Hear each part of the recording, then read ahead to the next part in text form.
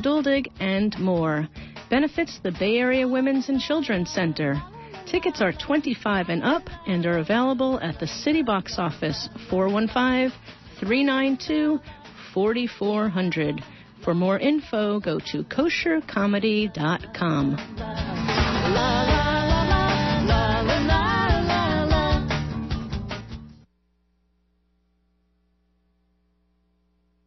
Good afternoon. This is KPFA or KPFB in Berkeley or KFCF in Fresno. Online, we're at kpfa.org. Uh, it's a little after 2 o'clock. Please stay tuned for About Health with our host, Dr. Michael LeNoir.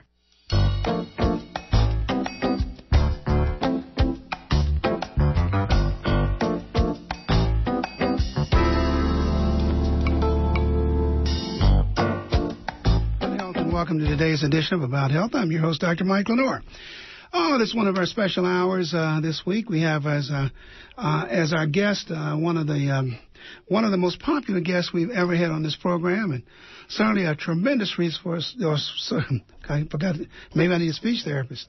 Tremendous resource for you. Dr. Michael DiGiacomo, who is a podiatrist who practices in the city of Oakland, uh, will be here to talk to us about what he's interested in, what he's doing in podiatry, but more importantly, to answer your questions about foot problems. Now, there seems to be a lot more foot problems than I ever thought from uh, what uh, I can remember. So now we're going to get um, the opportunity once again. So this is a very popular hour. So if the number that we need to give you is 510-848-4425, that's 510-848-4425, or 1-800-958-9008. Uh, both of those numbers are good numbers, and I'm telling you, is anything like the past. If you want to ask a question about your foot, this is the time. So, Dr. Giacomo, welcome back to our program. Thanks, Dr. Laura. Appreciate it. It's been much too long, much too long. But that gives us the chance to ask you what you're excited about in podiatry, because I know a lot has happened since we got together. Oh, a lot has happened. Actually, a couple of new things. Uh, uh, one one newer thing, and that is, uh, as we've talked about in the past, uh, at least briefly, there have been some investigational studies going on for the last five years with replacing the ankle joint, uh-huh. and we have had uh, fits and starts with this uh, process over the last 25 years. And we have now a new prosthesis from France. It's called the Salto Talis, T-A-L-I-S, uh, implant, which is a much simpler implant that was ever available earlier. It is only two pieces. Uh, relatively simple implantation process, and for people who have severely arthritic ankles, it's an exciting new development because, frankly, I've I've seen this process over the last 25 years where a number of implants have come along, and you could just inherently see that they were too difficult for the surgeon to accurately um, get good results Mm. on a on a day in and day out basis, and also too complicated, too many moving pieces that, that let things wear out too easily. So that I'm really excited about. You know, another one that I'm I'm rather excited about is that, and unfortunately, I guess we're just seeing lots more of this, but I'm seeing more and more adults with uh, arthritic big toe joints. And this can sometimes happen from the uh, activities such as ballet and soccer and so forth, and sometimes it's a simple, you know, severe stubbing incident that then lends itself to an arthritic condition happening years later. And um, over the last probably two months, I've probably replaced about oh once a week replaced a big toe joint on someone, and each and every one of those persons has said to me, "I'd never heard about this before, and it was so simple because." These are um, flexible, soft implants that are put in there. They're not cemented, and they're not steel, and basically you can walk on it the same day of the surgery. So it's one of those things, and I've sort of analyzed it. Is why why have I been doing this for so many years and not that many people have heard about it? And I guess part of it is it's just such a, a relatively unobtrusive or simple procedure as compared to when you've heard of your elderly friends or relatives having a total knee put in or a total hip put in that, that are you know quite obtrusive and they take a lot of rehab type stuff. So the toe one, the toe one is a little easier to do, or Toe just- one is way easier to. Do. It's literally about a 35 minute operation, and you're walking on it the same day. No crutches, no no steel in the foot, no imp, no uh, uh, cement or anything of that sort. All right. So, So what else interests you? What else is going on in the field of podiatry that we need to know about? well, of course, you know we have the Olympics coming up, and of course that would mean that there are millions of wannabe uh, Olympic contenders in all the different sports all over the uh, all over the map. And you know we're seeing more and more people who are doing uh, soccer these days. Soccer is becoming it's it's tr- trying to replace our traditional football. Right. We're seeing a lot more soccer injuries. Um, the sprained ankle is one that just commonly comes in here from the soccer field. Uh, the turf toe we're seeing a lot of, and the, and what we're doing with those folks is is basically teaching them rehab and protective type things uh, to do to prevent that. You know, another sport that's really up and coming. I'm seeing a lot of people coming in here with injuries on it. Is ultimate frisbee. And I mean, there are collegiate teams for ultimate frisbee oh, you, now. You so got you got to be kidding. I'm dead serious. Uh, it is. It's a real serious sport, and I was sort of you, like you. You when I- have to be kidding. Ultimate Yeah. frisbee couldn't Oh. possibly. It is a blood sport. You know, like Steve McQueen said in the old racing movie, you know, racing's a blood sport. I think this is like rugby. This is really a, a tough sport. And they're doing it where they're jumping off of, you know, certain places that are that are high, they're on uneven turf, uh, and so forth. So we're seeing a lot of injuries from that that would sort of reproduce um, some of our rugby injuries. All right, so let's uh, start talking to Dr. DiGiacomo. Let me give you the numbers again, 510-848-4425 uh, and 1-800-958-9008. We're talking about bunions and corns and ankle replacements and toe replacements. So if you've got a foot problem, now is the time to call. Uh, anything new on the, in the bunion area? You know, I have, having been a patient of yours, I have a special interest in the bunion. Got that empathy working, huh? right, definitely. Yeah, well, the thing is, uh, it's funny. I was talking to a nurse in the operating room just last week, and I was uh, I was at an operating room that I don't do a lot of work at, and I started operating on this person's bunion, and the nurse said, "What kind of screw do you want?" And I said, "Well, I don't need a screw." And she said, "Well, what kind of pin are you going to put in?" I said, "Well, I don't need a pin." And so, the the way bunion surgery is done these days is with a it's a very precise type of a cut in the bone, whereby the pieces of bone are sort of put together like the pieces of a puzzle. Ah. So the beauty is number one, it, and just like I was alluding to on the on the implants, the big toe joint and the ankle implants, it's simplicity. And you know, it's the old, you know that old adage, "Kiss, keep it simple, stupid." Right. And I tell myself that all the time. And you know, there are a lot of ways to skin a cat, but when you're doing bunion surgery, about 90% of them can be done with a very simple uh, adjustment or cut in the bone, no hardware whatsoever, and a week on crutches, and, and then you know people are back on the foot. Now, keep in mind, you'd still have a, a foot cast on for a total of three weeks from the day of the operation. But much simpler than days gone by when you're looking at putting hardware in, the concern about the hardware being there, and then the concern about having a second operation to have it removed. Now, what's going on with corns? Then before I get to the um, to the audience, what's happening with corns these days? Well, the uh, a corn is a rub spot. Typically, it's where a toe is bent up. It's rubbing against the bed sheets at nighttime. It's rubbing against the shoe and so forth. And if people have what we call an incipient corn, one that's just starting, where it's just a rub spot and hasn't turned into a hard, uh, thickened tissue, we do a procedure in the office whereby we just uh, numb the area on top of the foot behind the toe and lengthen the tendon, which will then drop that toe down, and it gets the rub to go away.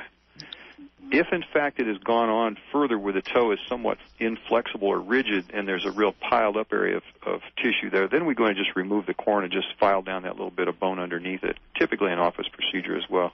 All right, well, let's start with Michael in Emeryville. You're on About Health. Can you hear me? We can. Okay. This is a pretty small problem, but it really bothers me. My small toe on both sides uh, turns in a little bit, Uh huh. and uh, the bottom it makes the bottom, believe it or not, really sharp, where the skin thickens. And uh, about four years ago, I had someone gave me a a little tube of something that I rubbed it on. It said wash your feet and then rub this on, and you can sort of peel away some of the skin, and it really worked. But I've never been able to find that substance again. It was a commercially produced thing, and I'm wondering if you, first of all, do you understand what the problem is? And Yeah, just for just for our listeners, we'll do well paint a real quick word picture. So basically, you have a little toe that sort of curls straight down and then slightly under the next toe. That's right.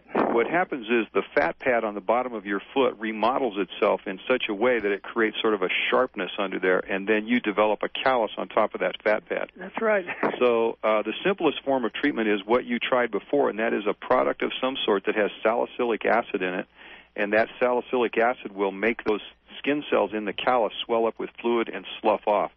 An over-the-counter product that you could go in and buy, which is usually used for warts, but you could use it very readily for that spot, is called Duo Film, D-U-O-F-I-L-M.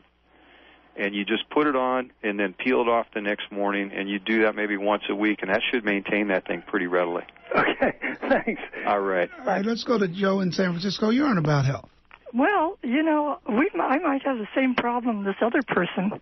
Can you hear me? Yes. Okay. uh, Okay, this other person had about four years ago. I had toe, toe surgery, and they stuck a pin in one toe, and apparently screwed together the other one next to it. I don't know whatever, but over the year, over the four years, the pain has become increasingly awful on the bottom of my foot, a callus, and nerve endings, which, uh, you know, are very painful. Yeah, yeah. Now here's the thing: as long as you're not a diabetic patient, I'm not. uh, it would be adequate for you to use that product. But in, your product, your problem sounds a little more widespread since it's involving a couple toes. So I would also take this measure, and that would be uh, keep a pumice stone in your bath or shower, and every Oh, time your foot I is tried. wet. I tried that one time, and it was much worse afterwards. Well, you probably were a little too aggressive. So what I was starting to say was that you want to do this when your foot is wet with soap and water, so you have a lubricant on the skin, and you just lightly buff maybe four or five seconds each day.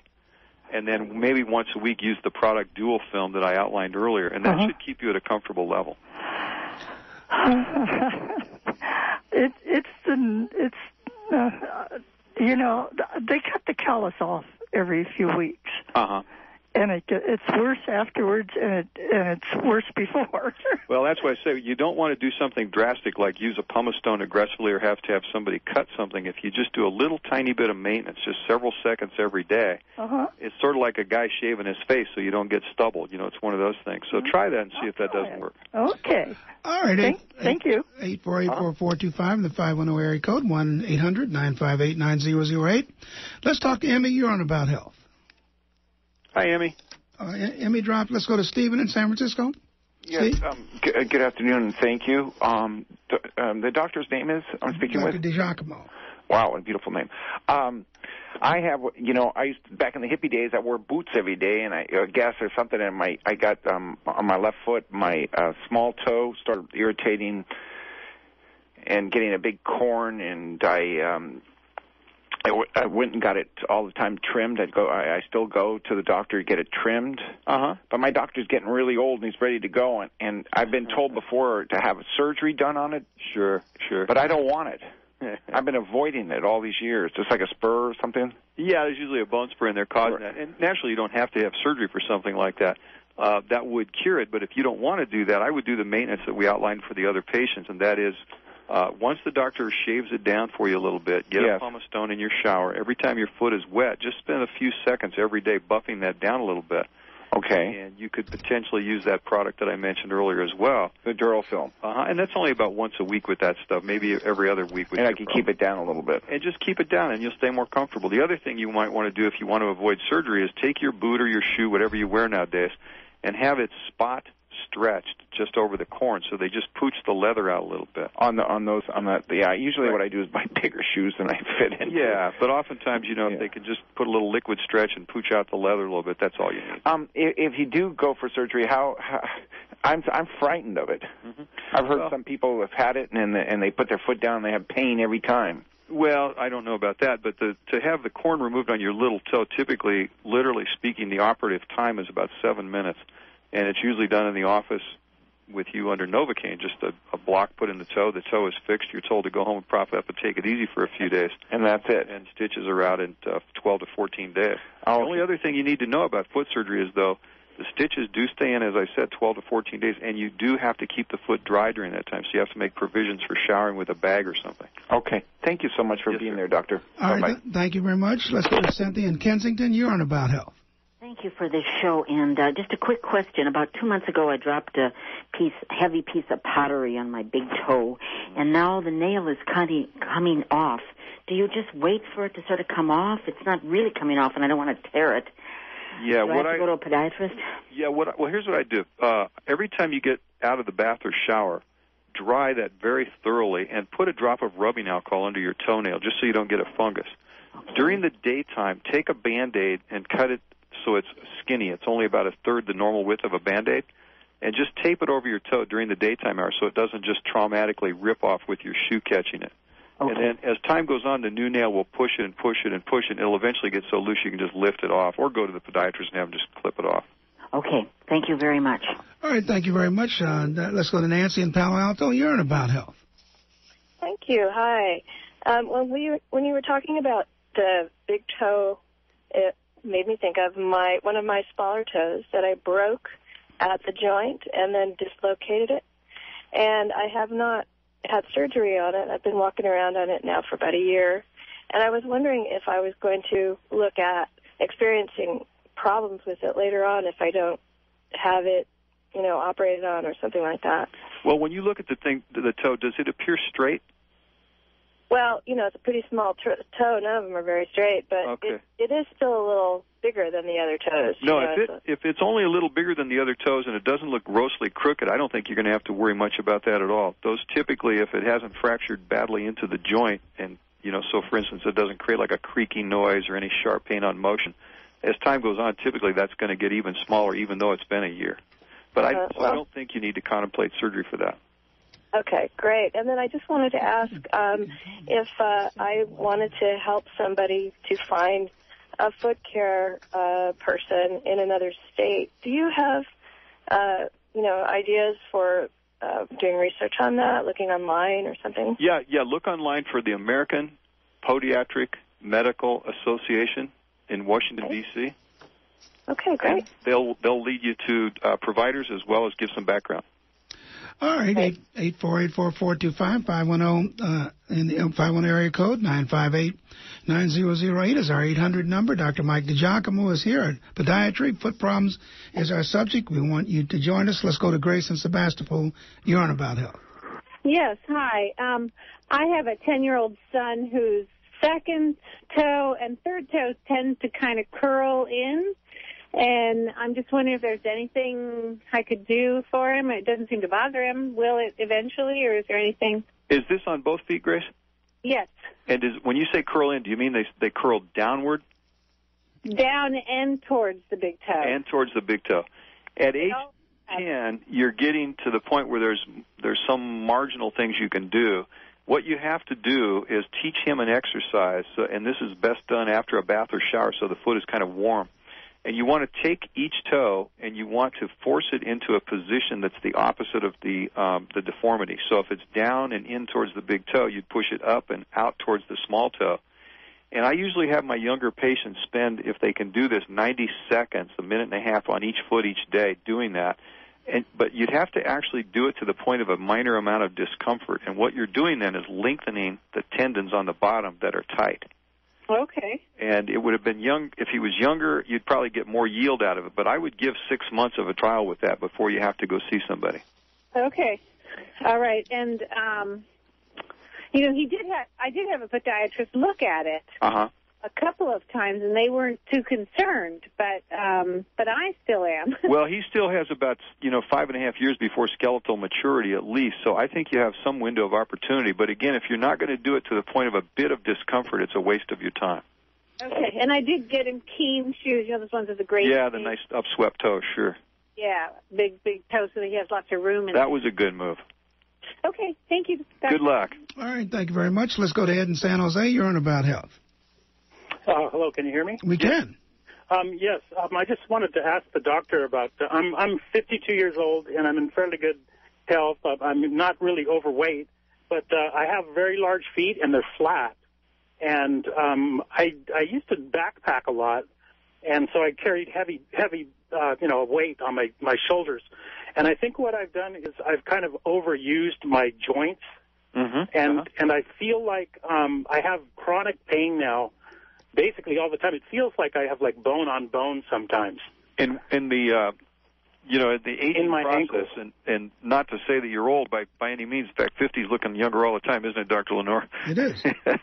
the uh, in the scope of things, you're still a young guy, and you need to get that looked at because if you if you can if our li- listeners that listen to this show can picture if your foot's flat on the ground and you let the foot the foot flatten downward, then essentially what you're doing is creating what we call a malalignment at the ankle joint, and that malalignment starts disproportionately wearing out one side of the ankle, whereas the other side doesn't get used as much.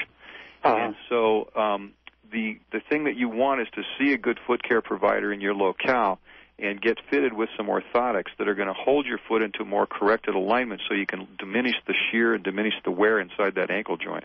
Yeah, now you know what? I do use orthotics. Now I don't know how good a quality they are, but I, I got them from um, a foot uh, a foot store here in in the South Bay. Okay, now did it diminish your symptoms?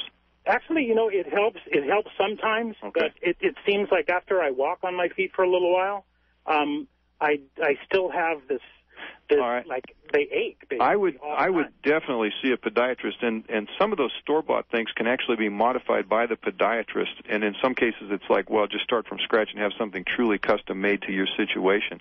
Uh-huh. But I would that's something that you know if they can they can assess your alignment, they'll be able to tell you proper, hopefully a little more accurately than a shoe store clerk. Uh, whether or not you've got that alignment properly, but the bottom line is, from your verbal description, sounds like you need more correction. Okay. Well, thank you very much. You bet. All right, thank you very much. Let's go to Amy now in San Francisco. You're in About Health. Um, yeah, I had a question for you about um, toe fungus. I have uh, my left foot, my big toe. I've had fungus for a couple of years, and I'm not really willing to do the systemic for own personal reasons. I'm wondering what you recommend in terms of topical. Yeah, first of all, if you looked at your nail, Amy, is it all the way back to the base of the nail or just sort of the end? Um, it's it's all the way back, and actually, the, when the nail's actually not connected to the actual um, base of my toe anymore. It's kind of you know, it's raised up. It's not connected to some. I'm Okay. trying that that So- as well. Here's the measures I would do. I would clip it back as aggressively as you feel comfortable doing, the, the dead part of the nail. And I would meticulously clean the nail bed in front of that, like a like a toothbrush with a shower type of thing. Okay. After every bath or shower, dry thoroughly and dab some rubbing alcohol in the nail bed, and and push it so it goes under the nail a bit. Okay. If we're lucky, what we're going to do is create a smooth enough nail bed that is also fungus and germ free, so the new nail will stick down. Okay. And I'm on your side of the fence on this one too. I wouldn't do systemic medicine for only two toenails. Okay. So I think topical measures are the way to go. Now, going up the food chain of treatments, if in fact that didn't work after several months, you might want to see a podiatrist because then you have to get a prescription paint-on drug that can work for that. Okay, but clipping it all the way back is the way to go and keeping that clean. I would definitely just start with that. Okay. but make that nail bed meticulously clean. Just make it as smooth as you can. Yeah, I've been wondering if because I've been cleaning it out and wondering if I should leave it No, grow and what what was preventing it from get rid of everything that's there. Otherwise, the new nail incorporates it within it, and you're right back behind the eight ball again. All right, great. That's very helpful. Thanks. Mm-hmm. All right, let's go. All right, thank you very much. Let's go to Elizabeth in San Francisco. You're on About Health. Elizabeth? Hello? Yeah, you're on About Health. Yes, um, I wa- had another question about the toe fungus also. Um, my boyfriend has it, but it's really bad on every one of his toenails. And the doctor told him Oh, if sorry. he took That's- I, we can Hello? hear you. Go ahead. No, go oh, okay. If he took the medicine, he would have to get all sorts of tests for his heart and whatnot. No, that's uh, the the medicine uh, would only require a simple blood test for liver function studies to make sure he's healthy enough to take the medication. And uh, the medication typically would have to be taken uh, about 90 days, sometimes up to 120 days, one pill a day. And I have my patients repeat that blood test every 30 days just to err on the side of safety. Okay, so it's not like a serious thing because they kind of scared him with No, but I the, the the medicine should be used in this fashion. He should take when the doctor assesses him, make sure he's healthy enough and make sure his baseline labs are normal. I advise that patients not take anything with acetaminophen in it while they're taking this pill. That's like Tylenol type products. And I also advise one alcohol drink a day as a maximum. Okay. And less than that is better. And with those provisos in hand, I have never had a problem with that medication. Okay, are there any topical treatments you would advise before If- having to go? According to what you're describing, topicals will fail. Oh, okay. Thank you very much. All right, Elizabeth. All right, I, I think we, that was Michelle. Let's go to Elizabeth now. sorry. Elizabeth in San Francisco. That was my fault, not yours. Yep, I'm here. Hi, um, my question's regarding my big toe, and I'm a soccer player, and I've been playing for about 15 years, and only recently have I started to feel like it's sprained, and I, I started taping it. It's, uh, I mean, it's successful when I tape it, but as soon as the tape's off, you know, it'll start hurting again. And um, I'm curious if you have a shoe insert, like an athletic shoe insert recommendation. And I also know that I tend to run on the balls of my feet. I don't do the heel to toe or toe to heel running Right, technique. right. And, and even consciously, I try to tell myself to do it, but I still end up back in the same, you know, old patterns. Yeah, now what you need is a very stiff shoe liner. The problem is you're not going to be able to just buy that over the counter, and even these shoe stores that sell inserts don't have them that go all the way to the end of your toes. Uh-huh. You're probably going to need to see a podiatrist on that one. But what you want is a full length shoe liner. It's not truly an orthotic, it's more just a stiffener. And so what happens is when you're up on the ball of your foot, the whole foot acts as a unit instead of you stressing just your big toe joint. Okay. And so we use that frequently with your type of sport, also with basketball players, and it works quite well. So on that one, I, I guess you're going to need to see a podiatrist. Okay. Thank you so much. Ah, you bet. Bye. All right, let's go to Mountain View and talk to Karen. Um, hi. I just had my second anthroplasty last Wednesday, and I'm laying in an ice machine. I have a hammer toe. Two years ago, the first one failed because the doctor was cavalier and didn't advise me to stay off my foot for more than three days. This time, I'm hoping it will work. What's your um, thing about this surgery? Can you tell me what you had done again? I didn't hear the first part. um, I had I have a hammer toe on my little toe, and I had a- anth um, arthroplasty. On your baby toe? Yes. Okay, well, the thing is, um, what I alluded to earlier during the discussion about hammer toes and corns and so forth, you really need to elevate in the beginning significantly. Now, when I do that surgery in the office, patients can drive their own car home, but I usually will tell them a minimum of two days of propping that foot above the heart level. I'm I'm doing it for two weeks this time, and I'm not going to go out for three weeks. Yeah, and and you know what? It's if you get the swelling built up in there in the beginning, Right. it's very very difficult to get rid of it. That's why even though they're a simple type of surgeries, we usually tell our patients, you will think this is really dumb because I'm going to do a seven minute operation on you. I'm going to let you drive your car home, but I want you for a couple of days to prop your foot up, Well, I and it just really helps. I was not allowed to drive home, and I was put out totally, and it was a 30 minute operation, and they scraped part of the bone away. I think it was a little more than the ones you're talking about. Might be, yeah. It's But my course it's hard to question is, can this really work where I can be without pain? Or what I'm concerned about is that I'm still me with the same posture and won't my body just keep recreating this is my question. You know, that's one I would have to see an X-ray to give you an answer on. Quite frankly, I mean, it seems unusual that a small toe would create a postural change. However, in fact, I've amputated uh, the no, small that's, toe of that's and not not what lost I said. What I said is I'm asking you about the success rate of the surgery. My goal is to get to get rid of my pain when I wear shoes. And even if the surgery is successful, I'm wondering if my body posture and my habits will cause this to, to happen again. Oh, I see what you're saying. Okay. Yeah, that's yeah. my question. Gotcha. Now, if your body posture is a very high arched foot, where Uh-huh. you stand more on the outside of your foot than the inside, Uh-huh. that body posture could reproduce your problem, even in spite of a good surgical effort. That's my concern. Yeah, yeah. So if you do have uh what we call a pes cavus or very high arched foot, you in fact might be predisposed to having a problem. Uh, you're, I'm sorry. I'm pigeon-toed. Okay. And so the other one is um, that, you know, I, I'm not exactly sure when they did arthroplasty what procedure they did, but if in fact the toe is flail, then it may afford you a little less support and your foot might actually want to go into more lateral weight bearing or outside weight bearing if you can picture what I'm saying. Right. So, you know, if if you don't have it addressed in such a fashion that they look at your your your posture, and if it is in fact a serious external weight bearing, in other words, bearing weight on the outer side of your foot, Uh-huh. you may be prone to failure. So you might ask them to assess that and see if they want to put a, a wedge in your shoe to get you tilted more to neutral. Okay, thank you. Sure. Good luck. All right, thank you very much. Let's go to John in San Francisco. You're on about help, but let me give the numbers first. Uh, one uh, five one zero eight four eight four four two five one eight hundred nine five eight nine zero zero eight. All right, let's go to John in San Francisco. You're on about health. Oh, hi, Dr. LeNoir, and hi, uh, Dr. Giacomo. Um, uh, Dr. Giacomo, I think, believe I was one of your patients during your internship at Stanford through the VA. Oh no, you know I didn't do my training there. Oh, okay. So, um, well, sorry about that. That's okay.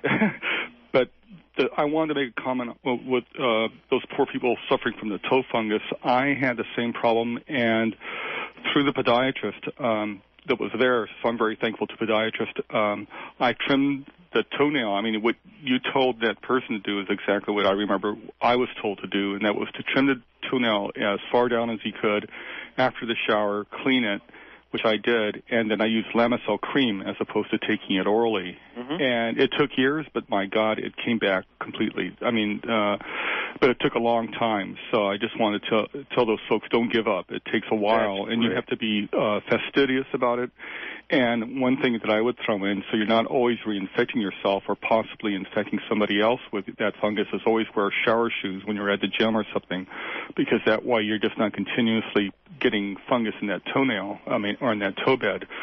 But the question I had for you was, um, and also, if anybody's taking statin, taking that Lamisil orally would also create a problem because uh, any statin drug for um, Well, uh, that's a potential problem, but it is not a uh, contraindication anymore. It is. As a matter of fact, it's actually frequently given with statins. Oh, okay. Well, But anyway, thank you for you that had a correction. Other, otherwise, though. Yeah, but my question is, uh, I was helped greatly by uh, a full-length uh, orthotic, and uh, I can tell that they're wearing out because I'm starting to wear down the outside of my foot, um, the, my shoes again. And I, I'm just asking you, is that a good indication that the orthotic is, is uh, needs to be embellished or a new one made? Well, you're going to think that uh, this is paradoxical, but interestingly, it has nothing to do with the wear of the orthotic. The orthotics may, in fact, have been worn out. But when you uh, look at the shoe wear, where you get the scuffing typically is on the outer side of the heel or the outer side of the sole. And what that is, is where our foot encounters the ground, and that's how our foot is in space.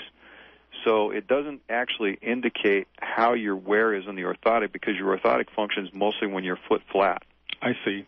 So, you know, you probably need to just stand in front of a mirror uh, first with your bare feet and then with the orthotics beneath you and see if it, in fact, it looks like they're being held upright. And if not, then get your podiatrist to adjust them or perhaps get some new ones. Right.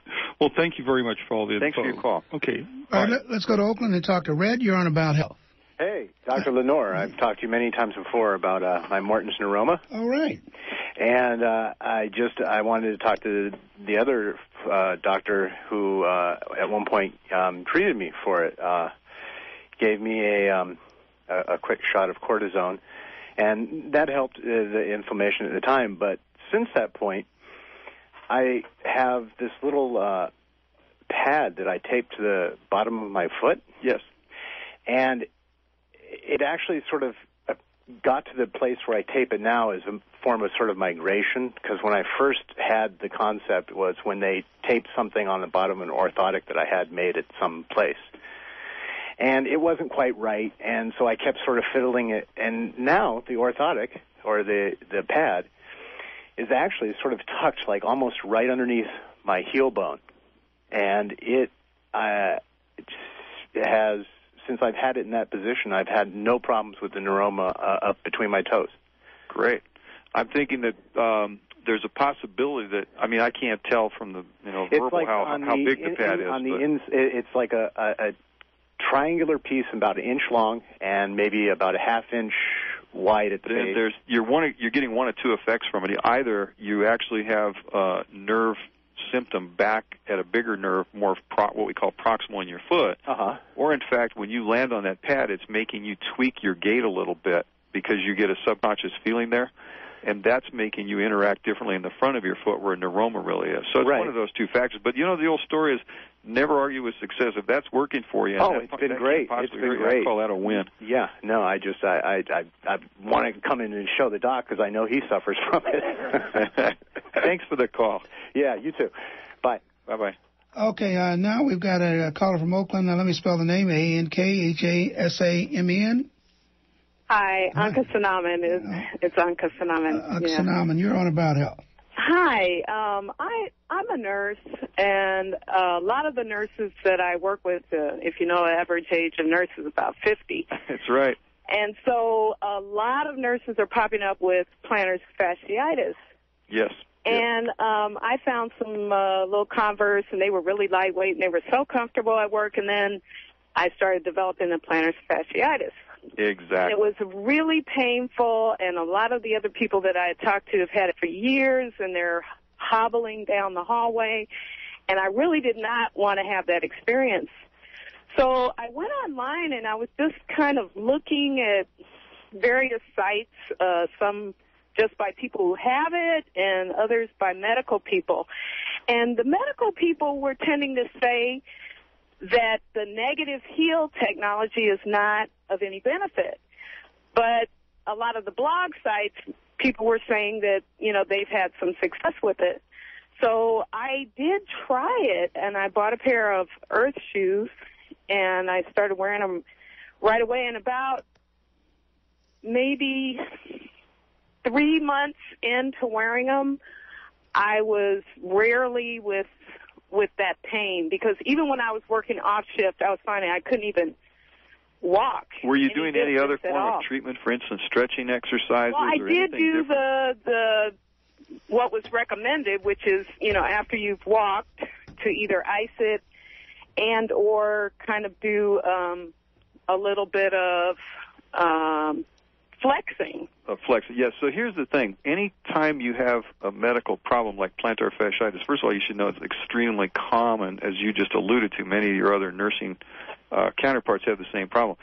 It typically goes away if you do something. Now, the something usually is, paradoxically, raised heel shoes and a stretching exercise. That's what I saw. That's but in I some found. cases, your body will just eventually take care of that inflammatory process known as fasciitis by just just simply healing.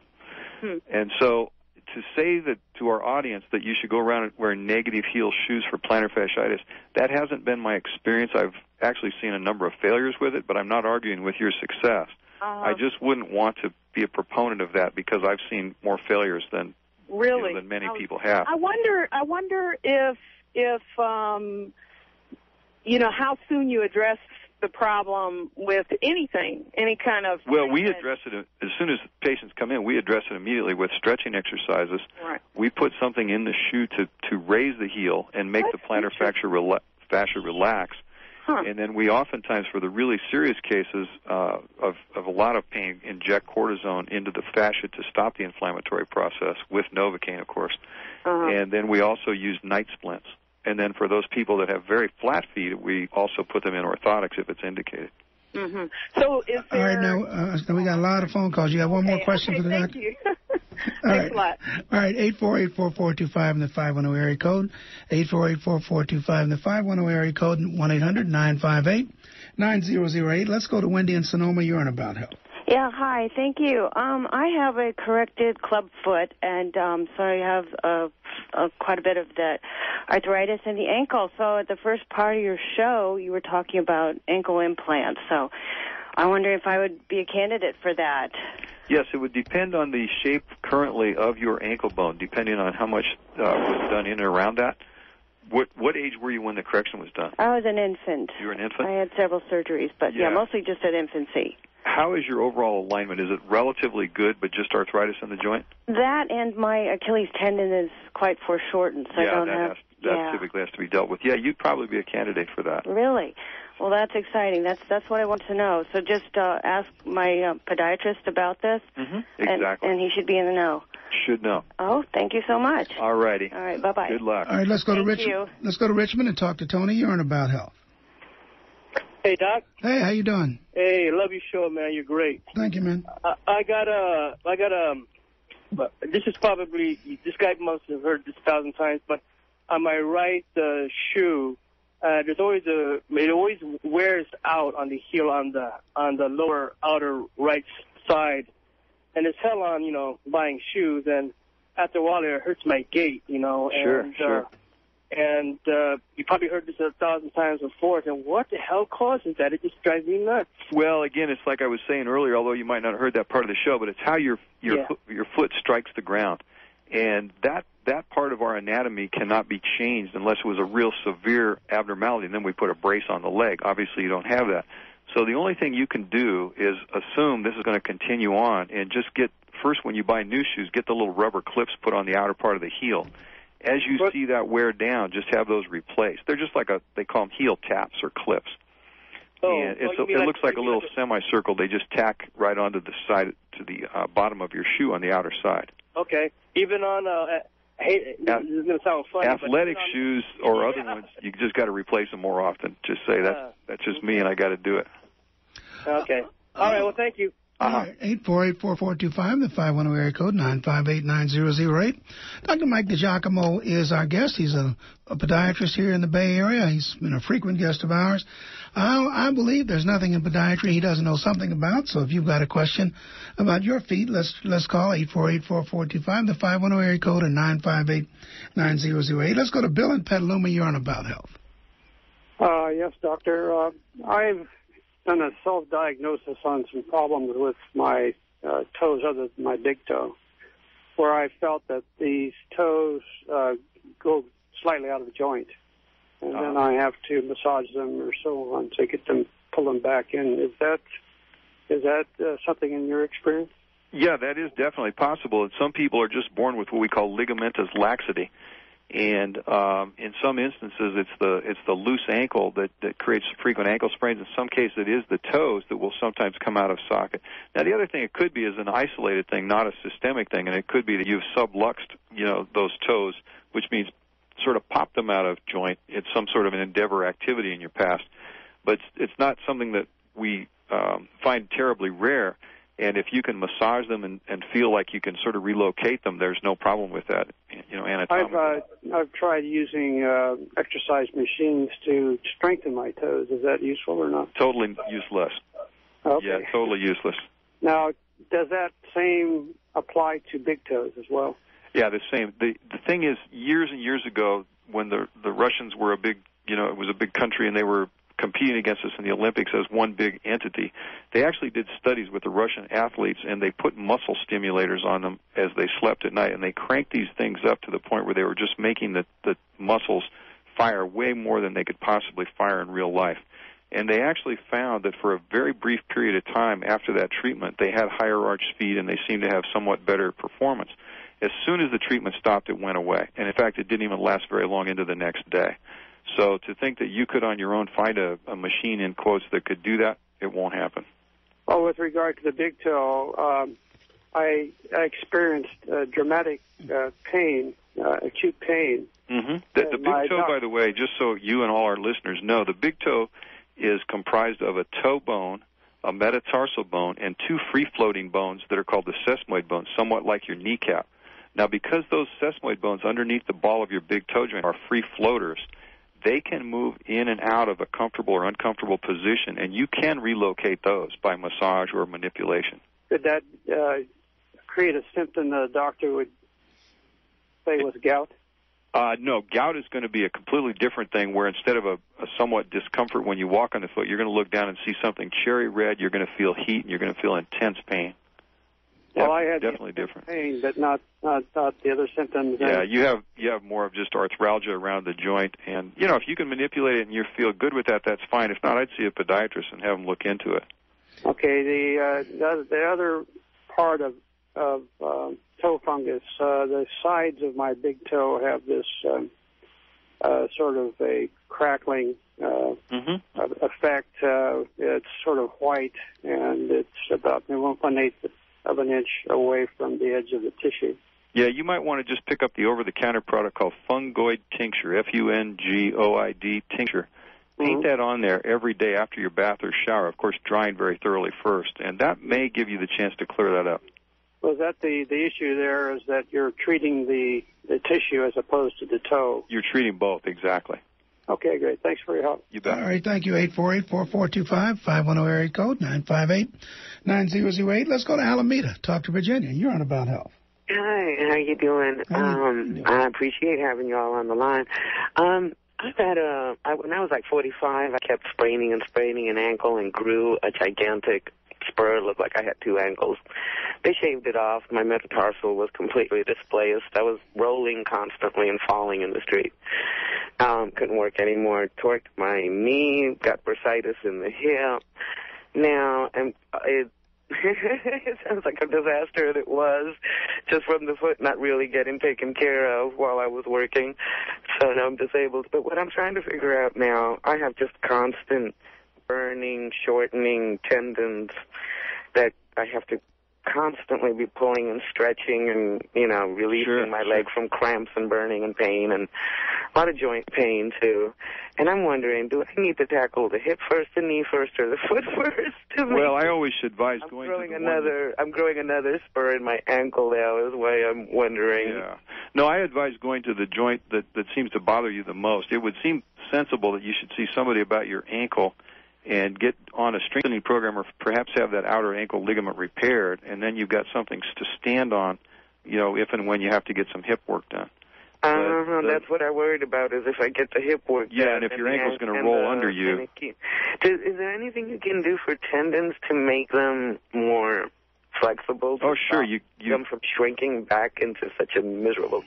well, one, you, you have to go through some physical therapy rehab type stuff to get them to elongate, and sometimes you have to be fitted with a brace that you have to wear for several months to see if you can get them to stretch out. Oh, that might be finally the trick. But you it need- just yeah, you need to see a podiatrist or sit or at. lay down. It just every it it just curls up no matter what. It's only one leg. It's really annoying. Okay, well, um, I'll try to get Get in to see a podiatrist for that. Yeah, um, yeah. They say the names of some good places to go because that's always an issue. So where? Well, I'll tell you what. When, a little later in the show, Dr. LeNoir will give an 800 number, and you can call with questions, and I can give that offline if you want. Awesome, awesome. I All right. appreciate that. Take care. You bet. All right, let's go to Porterville. Talk to Dennis. You're on About Health. Hello. Hey, it's your turn, Dennis. Okay, good. Say, um, about 20 years ago, I um, had a I was diagnosed with a heel spur, and uh, had some orthotics um, for it, and uh, that seemed to work after you know some time. Um, but just recently, like last week, I'm feeling what feels like another one coming back.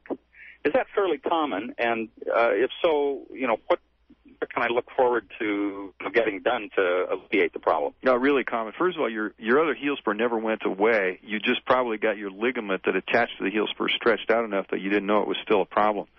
And so, um, you if you took an old X-ray that was taken back then and you took a new X-ray today, you'd probably still see a spur there and possibly a little tiny bit bigger. But the answer is it does reoccur. So the things that you typically want to do is do a, the stretching of the Achilles tendon, where you want to do what's called a runner stretch. And you want to do that diligently, at least five times on each leg, morning and night. You may need an adjustment of your orthotics, and you want to avoid going barefoot at all until you get the fasciitis feeling better. Indoors, if you can't stand having shoes on indoors, you might get a pair of clogs to wear. But those type of things, um, as far as reoccurrence, not terribly uncommon, and uh, as far as getting the symptom gone again, should be pretty simple.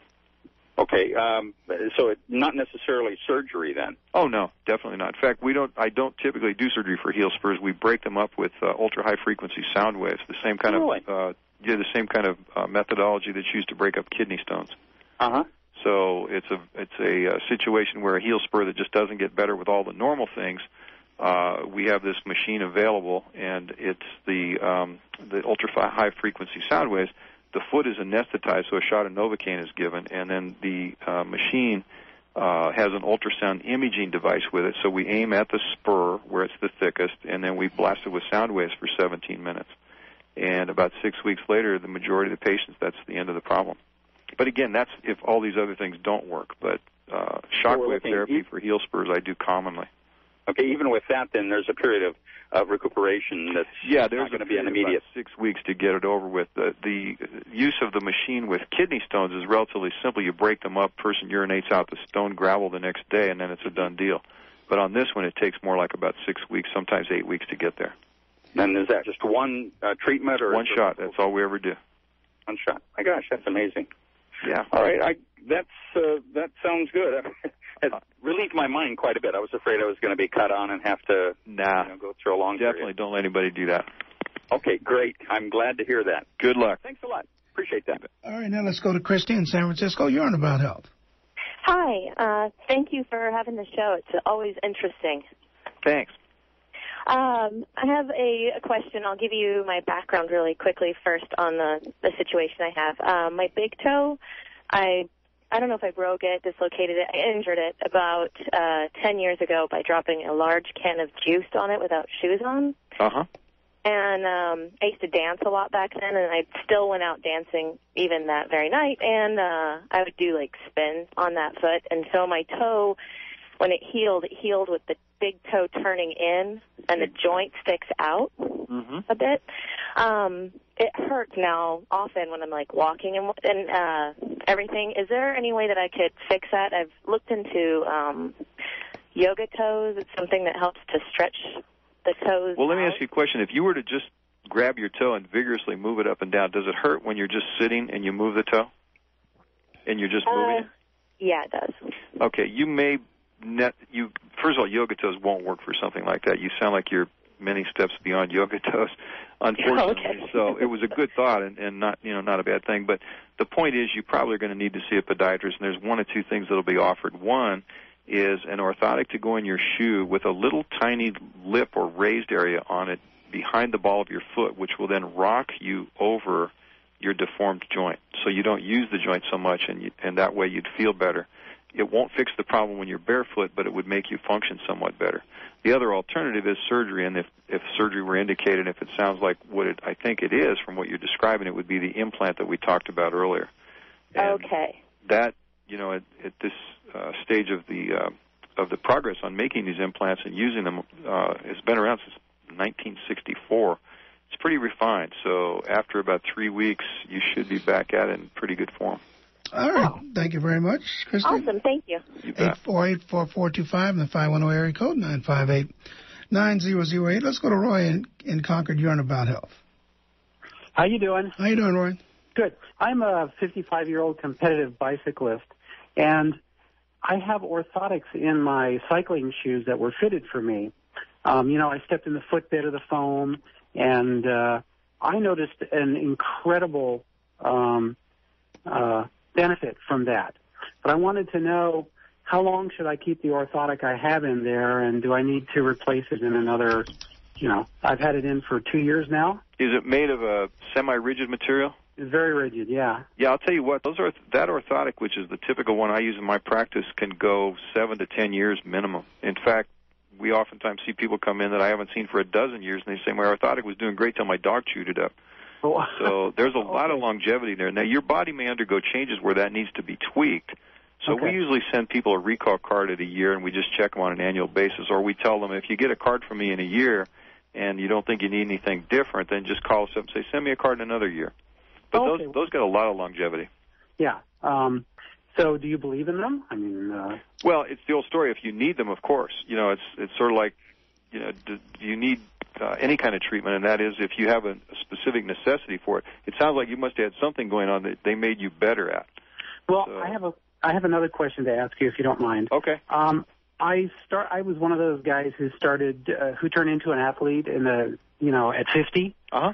And I, my wife told me that I had extremely flat feet. When we'd go walking on the beach, she'd look in the sand, and there was Right. my foot. Well, after training and running and cycling, I have one heck of an arch now. Is it possible to build your arch? Well, part of it is this: Did you lose weight? Aha. Did you Yes, lose did. much? Tons. All right. The lost weight took away some of the contour that was making you look more flat-footed than you were. That's ah. part of it. And then your arch could heighten if you got weight less on it. You know, every step you take, it's 135% of your body weight goes through that individual foot. Okay. So multiply that by 20 or 30 or 40 pounds lost, and it's huge. Yeah, it was pretty fun to see. Great. Good. Congratulations. okay. Well, well, thank you very much. All right. Thank you very much. Let's go to Dave in Fresno. You're on about health. Hi. Hi. I'm uh, calling about a heel spur. Uh, my podia, my doctor had me buy some store uh, three-quarter inserts. The uh, orth- what do you call them? Orthotics. Yeah. Orthotics. Do you have a recommended orthotic, or can you say that? Well, no. The thing is that if you, uh, first of all, do you have a flat foot? Uh, probably in between. All right. And did you get some benefit from the one you bought?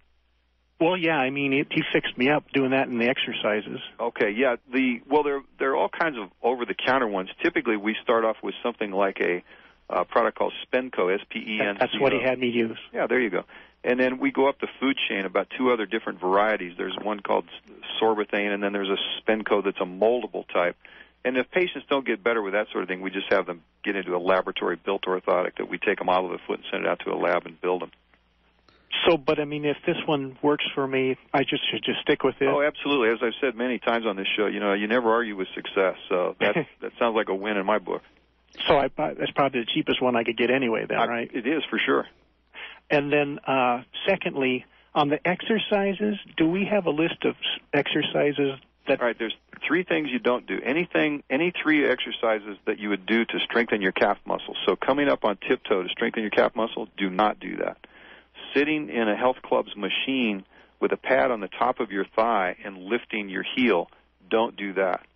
The one where you're in a health club and you put your feet on a big sled-like device and you're pushing it to strengthen your butt or your back or your thigh muscles, that's okay, but don't do that with the ball of the foot on that sled and just try to strengthen the calf muscle. So anything that tightens your calf muscle makes you worse for fasciitis. And then the next thing you do want to do is the runner stretch, the Achilles runner stretch. And Dr. LeNoir will give a phone number later, and if if you don't understand what it is, you can't find it online, you can call our office and we'll fax Yeah, one out. yeah. Why don't you give us that number now? Yeah, it's eight hundred four three five F E E T, or we can just have them call five one zero four six five eight zero one two. Give it to him one more time. Uh huh. Five one zero four six five eight zero one two. All right, we're going to try to get a couple more questions in. Let's go to Daryl in uh, San Francisco. You're on about health. Oh, hi. I wanted to thank you for answering my questions on uh, bone spurs and the long-term uh, prognosis. Uh, but my question is kind of off the wall: is how do you get Medicare for us poor people to pay for a prescription night splint, which was very effective in the treatment? Well, we dispense a device called the CAM CAM Walker, and when a patient has plantar fasciitis or heel spurs, Medicare covers that in my practice. So I Oh, I had to get a. I got a prescription, you know, a night splint with a prescription from my podiatrist, Uh-huh. and I had to pay for it outright. And then, Uh, unless uh, you've signed over your Medicare to a, to a carrier like a PPO or HMO, usually the ones I mean the ones we dispense they look like a big ski boot. They're covered in them. Right. So Yeah. Oh well, I called up Medicare and they didn't have it on their list. They said it wasn't covered. Well, see, the, that's because they use a night splint instead of a cam walker. That's what I'm saying. If you get a Cam device, walker, that's yeah, ask for that, and that should be covered for you. So I hope that helps. Oh, thank you very much. You I'll bet. do that. Thank you. All right, let's go to Elena in San Jose. You're on about health.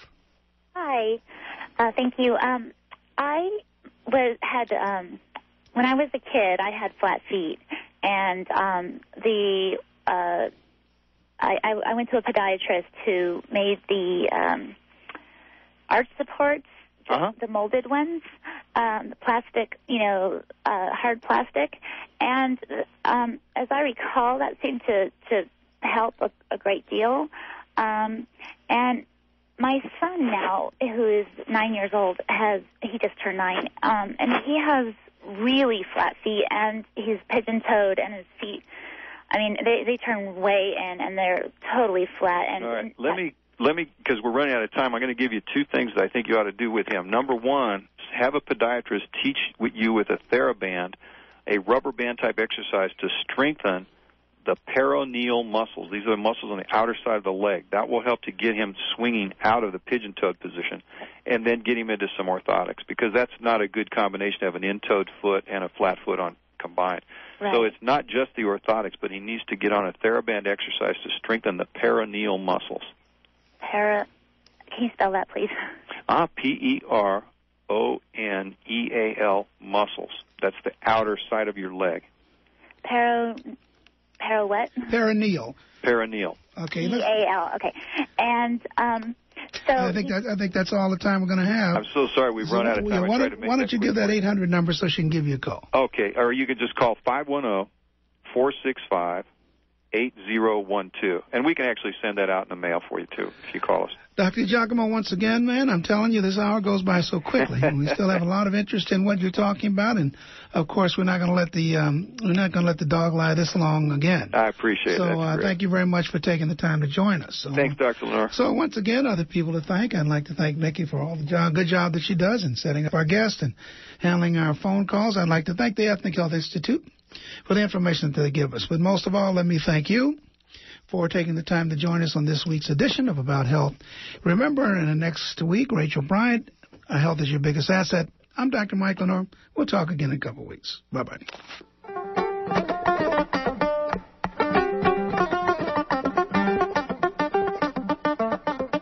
Come celebrate the brand new book State of Exile by Cristina Peri Rossi, lesbian poet, author, and social activist.